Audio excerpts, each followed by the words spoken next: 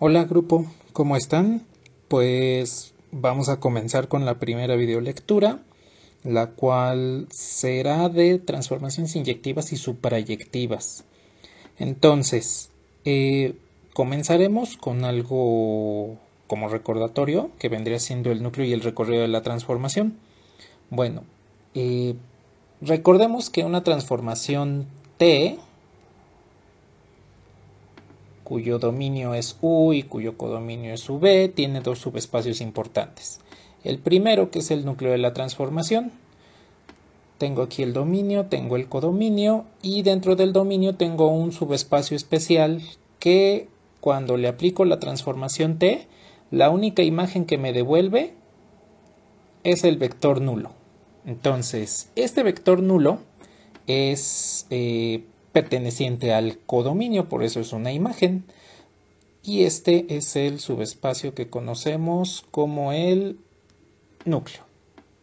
Entonces, todos los elementos del núcleo, que son estos en color rojo, bajo la transformación T se van a convertir en el vector nulo del codominio.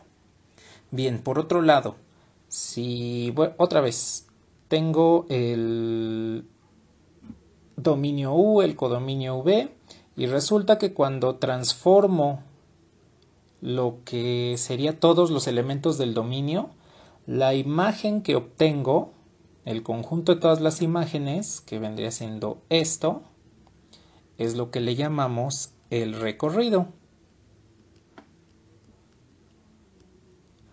Entonces, el núcleo es el subespacio del dominio cuya imagen bajo la transformación T es el vector nulo del codominio y el recorrido es el subespacio que contiene todas las imágenes de la transformación T. Bien, con base en esto vamos a definir lo que es la transformación inyectiva. Entonces, una transformación lineal es inyectiva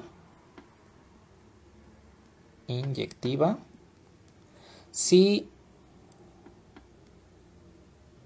ya que tengo aquí el dominio, el codominio y le aplico la transformación T a cada uno de los elementos, pues resulta que cada elemento del dominio va a tener un asociado en el codominio y viceversa.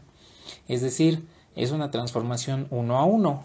A cada elemento del dominio le corresponde uno y solo uno del codominio y a cada elemento del codominio le corresponde uno y solo uno del dominio.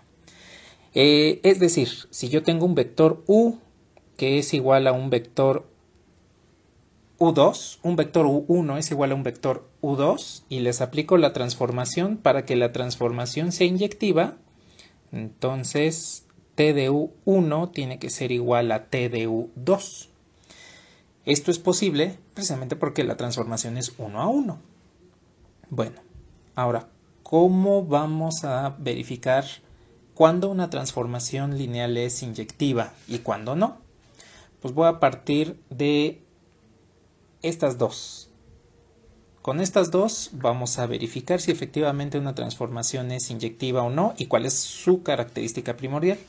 Entonces, tomando que las imágenes son iguales, pues yo puedo restar a ambos lados de esta igualdad t de u2, de tal manera que tendría t de u1 menos t de u2 es igual al vector nulo. Bien, como es una transformación lineal, puedo agrupar bajo la misma transformación, es decir, la resta me va a quedar dentro de la transformación y entonces puedo aplicar lo que tengo aquí señalando en color verde. U1 es igual a U2. Entonces, si hago la sustitución aquí, obtendremos T de U1 menos U2. Esto es igual al vector nulo. Bien, considerando esto, entonces podemos establecer que esta pues son iguales. El resultado de esta resta pues me devuelve el vector nulo. Bien, Pues resulta que aquí tenemos lo que vendría siendo la definición del núcleo. Este es el núcleo de la transformación de una transformación inyectiva, de tal manera que para que una transformación sea inyectiva, lo único que necesito es que el núcleo de la transformación, n de t, solo contenga un vector, el vector nulo. Si conseguimos analizar una transformación lineal en la cual el núcleo solo contiene el vector nulo, eso quiere decir que la transformación es inyectiva. Bien, pues vamos a ver un ejemplo en el cual tenemos aquí un espacio, dos espacios vectoriales, uno de matrices simétricas y otro de polinomios de grado menor o igual a 2, entre los que definimos la transformación lineal T. Esta transformación pues tiene esta regla de correspondencia. Bien, nos piden determinar si T es inyectiva. Entonces, recordando lo que acabamos de comentar, si una transformación lineal es inyectiva, eso quiere decir que el núcleo de la transformación es el vector nulo. En el caso de que la transformación no sea inyectiva, entonces vamos a obtener un subespacio con múltiples vectores. Bien, vamos a encontrar el núcleo de esta transformación T. Recordando entonces que el núcleo de T esta es t de la matriz, tiene que ser igual al vector nulo, que en este caso, como estamos trabajando con polinomios, pues sería este, el polinomio nulo. Bien, entonces, como t de a, b, b, c es igual a un polinomio, eso quiere decir que la regla de correspondencia que nos devuelve un polinomio, es decir, a más bx cuadrada más 3a menos cx más menos a más 2b más c tiene que ser igual a el vector nulo. Aquí nada más le voy a poner 0 porque ya sabemos que al multiplicar 0 por cada x y sumarlos nos da 0. Bueno, por igualdad en polinomios, entonces tendríamos que a más b es igual a 0 3a menos c es igual a 0 y menos a más 2b más c es igual a 0. Bien, de esta ecuación tenemos que b es igual a menos a, de esta que c es igual a 3a. Si sustituimos esas dos en la tercera ecuación, pues vamos a obtener menos a más 2 veces b, pero b vale menos a, más c, que es 3a, y esto es igual a 0. Bueno, al final tendríamos menos a menos 2a más 3a, pues tenemos que 0 es igual a 0. Bien, como conclusión tenemos que este es un sistema de ecuaciones lineales indeterminado, es decir, tiene múltiples soluciones.